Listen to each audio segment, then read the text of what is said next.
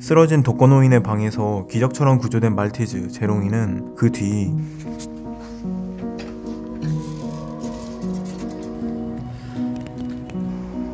덩치가 비슷한 20마리의 고양이와 기묘한 동거를 하는데요.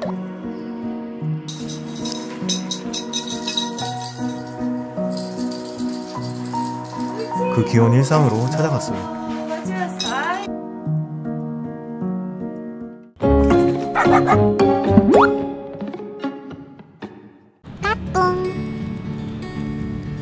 이른 아침 등장하는 제롱이 임시보호자가 운영하는 고양이 쉼터로 향하는데요.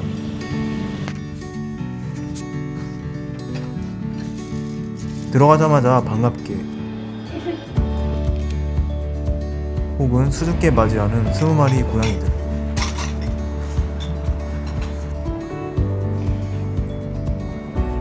어째 양이들 반응이 조금은 어색한데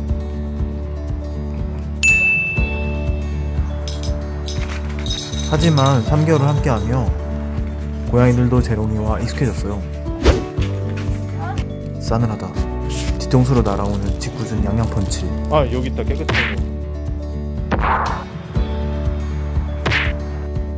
하지만 양아치도 무한해지는 잔잔한 반응. 착한 성격 덕에 제롱이는 고양이들과도 잘 지내고 있어요.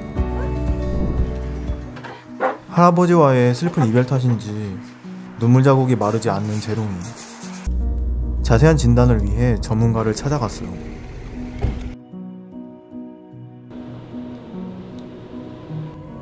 바들바들 떨면서도 잔지짐 한 번 없는 제롱이. 네. 귀 이렇게 할 때 바둥바둥거리면서 가만히 안 있는 친구들이 훨씬 많은데 이 아이는 얌전하네요. 평화롭게 진료를 마친 제롱이. 그 결과는 종합적으로는 아기 상, 아이 상태는 굉장히 양호한 편이에요.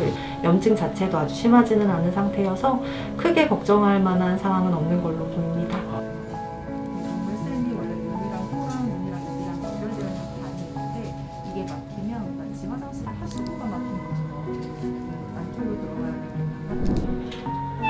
이번에는 재활 전문가를 만난 제롱이.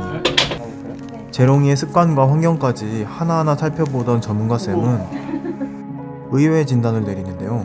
또 서랑을 너무 듬뿍 받다 보니까 너무 지금 살이 쪄 있는 상태. 그래서 음식에 대한 조절 좀 하고 내가 비만? 넘치는 사랑이 제롱이를 아프게 하다니 충격을 받은 듯한 임보자. 컵 같은 거 쓰셔가지고 그냥 하시면 되고 자, 이러면 한 75g 되네요. 하루에 먹는 양을 이렇게 눈에 보여드리잖아요. 네. 그럼 다들 깜짝 놀라세요. 이것뿐이 안 돼요? 적은 듯 하긴 한데 네, 한번 해봐야 될것 같아요.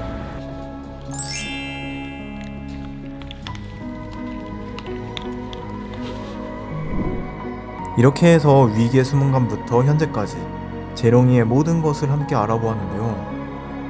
지난주에 사연 영상이 나가고 재롱이에게 무려 27분이나 입양 신청을 해주셨어요. 따뜻한 사랑을 보내주신 모든 분들에게 감사드립니다. 입양자가 확정되면 그 후기 영상도 곧 소개해드릴게요. 저는 다음 영상으로 찾아오겠습니다. 오늘도 시청해주신 게스트 여러분 고맙습니다.